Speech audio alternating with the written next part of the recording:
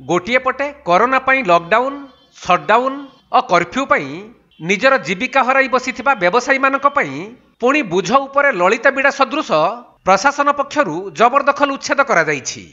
ଯାହାକି ଭଦ୍ରକର ଜାମୁଝାଡ଼ିରୁ ଧାମରା ରାସ୍ତା ସମ୍ପ୍ରସାରଣ ପାଇଁ ମଙ୍ଗଳବାର ଦିନ ବାସୁଦେବପୁର ବଜାରରେ ଥିବା ରାସ୍ତା ପାଖ ଜବରଦଖଲକାରୀ ଦୋକାନୀମାନଙ୍କୁ ପ୍ରଶାସନ ପକ୍ଷରୁ ଉଚ୍ଛେଦ କରାଯାଇଛି।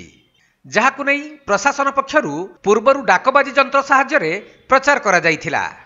ଏପରିକି ସ୍ଥାନୀୟ ପୌର ପ୍ରଶାସନ ପକ୍ଷରୁ ବାସୁଦେବପୁର ବଜାରକୁ ଛତିଶ ଘଣ୍ଟିଆ ସଟ୍ଡାଉନ କରାଯାଇ ଏହି ଜବରଦଖଲ ଉଚ୍ଛେଦ କରାଯାଇଛି। ସେପଟେ ଆଇନ ଶୃଙ୍ଖଳା ପରିସ୍ଥିତିକୁ ନଜରରେ ରଖି ଅଧିକ ଦୁଇ ପ୍ଲାଟୁନ ପୁଲିସ ଫୋର୍ସ ମଧ୍ୟ ମୁତୟନ କରାଯାଇଥିଲା ଏବଂ ଜବରଦଖଲ ଉଚ୍ଛେଦ ବେଳେ ଭଦ୍ରକ ଉପଜିଲ୍ଲାପାଳ ବାସୁଦେବପୁର ତହସିଲଦାର ଓ ପୌର କାର୍ଯ୍ୟନିର୍ବାହୀ ଅଧିକାରୀ ପ୍ରମୁଖ ଉପସ୍ଥିତ ଥିଲେ।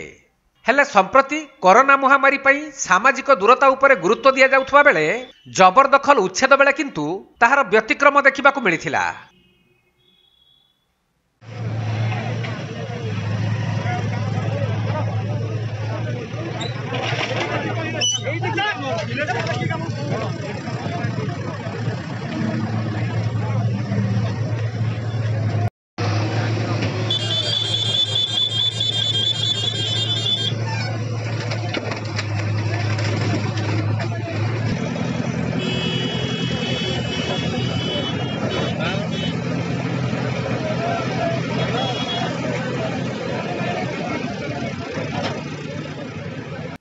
ଭଦ୍ରକ ଜିଲ୍ଲାରୁ ନରେଶ ମୁଦୁଲିଙ୍କ ରିପୋର୍ଟ କୋଣାର୍କ ଲାଇଭ୍